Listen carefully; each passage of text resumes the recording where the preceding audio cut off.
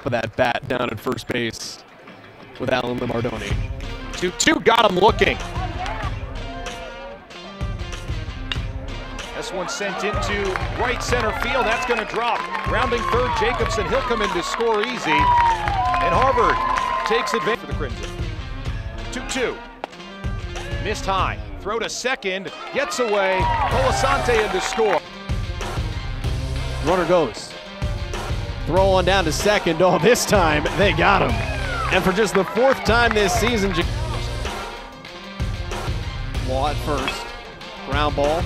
Almost ate up Baldwin. Nice turn to short for one. Relay to first. And This, this lineup has proven itself able to score just about anywhere. that thing's jolted into the gap left side. Colasante scores. Baldwin looped out toward the gap right field. That drops down for a base hit. That comes back to bite you because Brown Cars that are parked over there, those, those folks are braver than I 3 2. Smokes. This one is fair, just inside the line. Jacobson comes all the way around. He'll score. And a stop sign at second for the dirtied uniform.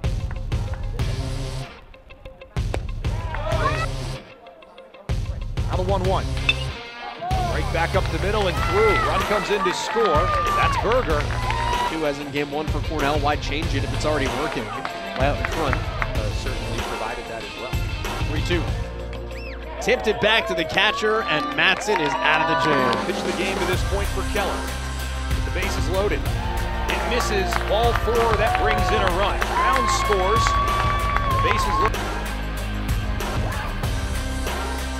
Swing of the bat it. Sent into right field. Here comes Kaplan. Lands in front of it. Jacobson comes in to score. 11 all singles, very few walks. Served out towards shallow right field, long run in for rounds. Diving back from second base, Baldwin could, yes! It's got a spring crispness to it. One, two. Got him. Pulled the string on the chin.